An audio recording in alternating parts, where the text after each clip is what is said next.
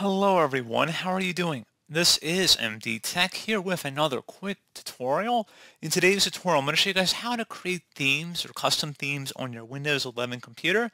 So if you want to create a custom theme with images, dark mode, light mode, etc., just a very customized Windows theme for you, in today's tutorial, I'm going to show you guys how to actually create a theme that you can save as its own custom theme.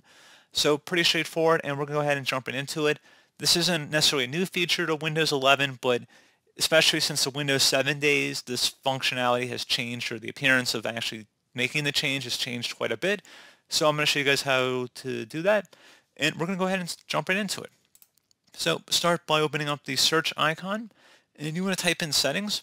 Best result should come back with settings. Go ahead and open that up.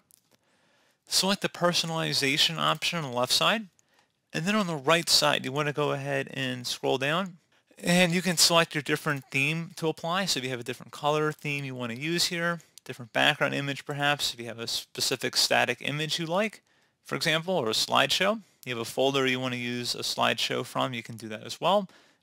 And you can customize all these settings in here like you normally would. Choose the different colors as well. So if you want to do a different light mode or dark mode as well as accent colors, you can set all of that through here. So again, pretty straightforward process. You just would go ahead and set whatever you like. And then once you're done with that, you would select the themes option. Go ahead and left click on that. And then, like I said, you can, you can select different colors from here. So definitely, uh, you know, a lot of different options to play with. And there'll be an option here to click on the save option to save your custom theme. Name it whatever you want. And then you would select save.